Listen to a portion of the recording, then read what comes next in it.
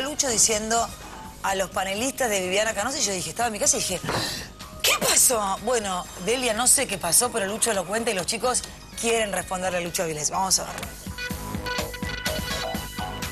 Viviana Canosa, decirle a tus adláteres, o alcahuetes, como quieras llamarlos, que aprendan, que estudien y que se informen antes de decir tonterías. Yo la quiero mucho, Viviana, esa es amiga mía. Pero los aldáteres que tiene son un desastre. Está muy linda Viviana Canosa últimamente, ¿eh? Bueno, ¿quién empieza? Bremer, ¿qué pasó con Lucho? Primero, a Lucho lo admiramos y lo queremos. Es Lo muy admira simpático. y lo quiere. Es muy simpático, pero comete algunos errores realmente conceptuales graves. ¿Pero qué fue por la otra que ustedes defendieron a Tito Medina Aclaramos una no situación interna programa? que realmente nos metimos en camisa de once varas por ser buena gente, porque realmente la actitud de Teto Medina ayer fue fría, fue absolutamente apático, cuando sabe que todo lo que se dijo acá, tanto Teto como Lucho, fue verdad y existió. Ahora bien, si lo quieren acallar, si tienen códigos comunes, creo que van a volver a trabajar juntos. ¿Sabes por qué, Viviana? ¿Por qué? Porque para un sádico no hay nada mejor que un masoquista. Entonces me parece que muy prontamente Teto va a laburar con el señor Lucho Avilés. Pero bien, digo, él nos manda a aprender y a estudiar.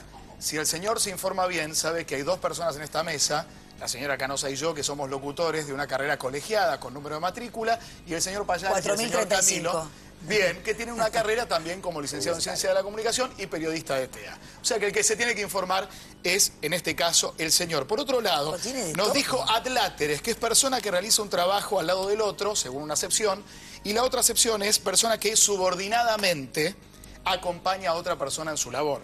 En este caso vos, y es un privilegio estar al lado tuyo, Viviana, porque estamos subordinados a esa tarea y no subestimados, denigrados, estupidizados, subsumidos, como pueden estar otros panelistas de la televisión al lado de otros conductores. Ahora bien, entonces, un abrazo a Lucho, si quieren dejar el tema en este caso, en este punto es así, nada de lo que se dice acá es mentira, trabajamos mucho día a día para corroborar y reconfirmar cada una de las versiones. Y a la vez entiendo en Lucho que más allá de una pauta comercial hay un conocimiento con el padre de una persona de toda la vida que le genera también un afecto para cuidarlo y protegerlo al aire. Y en ese caso y como el don de gente me obliga a decirlo, lo entiendo y lo comprendo en el altercado que tuvieron con un invitado y Teto Medina. Teto, cuando alguien te defiende y pone la cara por vos, por lo menos un gracias o poner un poco el cuerpo, me parece que estaría piola. Pero a partir de ahora, como Teto no es un periodista, es un entretenedor, es un animador, me voy a dedicar a no hacer periodismo de entretenedores ni de periodistas. Ah, otra cosa, Lucho dice, no hagan periodismo de periodistas. Y él hace periodismo de periodistas cuando invitado a Crónica TV nos responde a nosotros que somos colegas. Lucho, está todo bien. Un abrazo grande. Qué bien habla Bremer. Por favor, eh, Payares. No, yo no le mando un abrazo. Digo que cada vez que me cruzo, cruzo con Lucho Avilés en cualquier lado, viene y saluda, pregunta, chusmea, pregunta por tu vida personal, quiere No saber cosas. personal, La verdad que yo trato siempre de esquivarlo. Vivo trabajando. Y desgraciadamente me toca siempre cerca cuando voy a algún lado. Segundo tema. Hoy dijo que este programa había medio rondado a los cinco puntos de rating. ¿Cuántos años hace Lucho Avilés que no ves cinco puntos de rating juntos?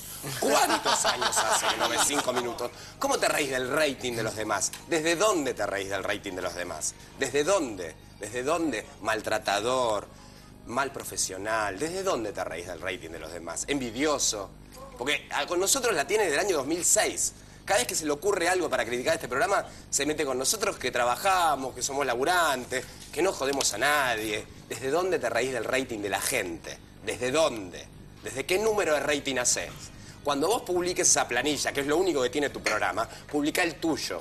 ¿Y cuánta gente te ve? ¿Y cuánta gente te quiere en este medio? Y después puedes hablar de los demás. Y que no te dé envidia que hay periodistas más jóvenes. Nada más que eso. Cinco puntos de rating hace muchísimos años que vos no ves.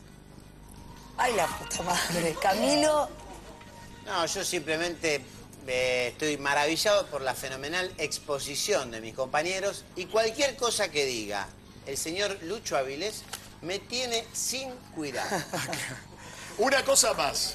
bueno, Es digamos, verdad que somos- el Lipino que no sé ni cómo que queremos Es verdad, es verdad que somos distintos. Pongo las manos en el fuego por mis compañeros y por mí, que jamás desearíamos poner granadas en las bolsas de basura para volarle las manos a los cartoneros. Y pongo las manos en el fuego por mis compañeros y por mí, que jamás mandaríamos una cámara a un psiquiátrico para entrevistar al hermano de una diva argentina. Pongo las manos en el fuego. Muy bien, vamos. Señoras y señores, Qué nivel, eh. estoy agotada, estoy exhausta. No, no, yo, yo quiero decir algo. Quiero decir algo. Yo quiero decir que trabajo con gente que respeto, Lucho, sabes que te quiero, te conozco hace muchísimos años y a la gente que está en la mesa la he elegido personalmente, tanto a ellos como a la gente que ha pasado por acá, los quiero mucho eh, y los respeto a todos profesionalmente, así que bueno, entiendo que tengan este, un conflicto, un problema, pero yo los, los quiero mucho, los banco, los avalo y son la gente con la que yo quiero trabajar. Iripino, ¡viva la vida!